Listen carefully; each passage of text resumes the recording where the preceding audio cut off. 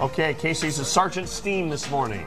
That's right. Hey, you're on. Guess what? I've had a problem. I've sat in a starburst. Uh, oh Yes. no! Is that a Yeah. strawberry That starburst? looks just like mine, except mine's right on the butt.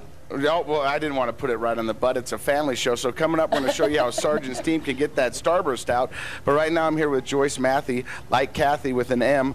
That's how you told me to remember it. So I just did that in my head, which was probably unprofessional. But tell me about Sargent Steam. What are we about ready to clean? We're about ready to use the, uh, Sargent Steam has four major attachments, and we're going to use the detail tool. I Okay. to show you how to clean tennis shoes. Guys love this, Oh, yeah. teenage boys. Okay, well, let's check it out.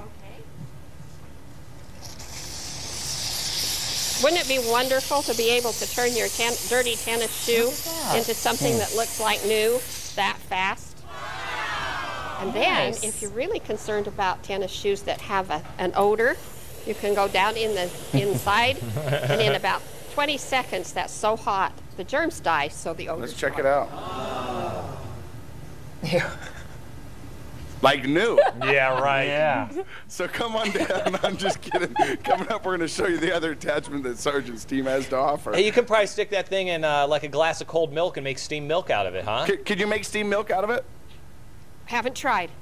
Well, maybe. Hey, let's try, Yeah, let's do let's it. try that this morning, Steve. We're Okay. to put Sargent Steam to the test. All right. Okay, Yeah. thanks, Casey. And we'll work on that starburst, too. and the shoe. Gotcha. All right.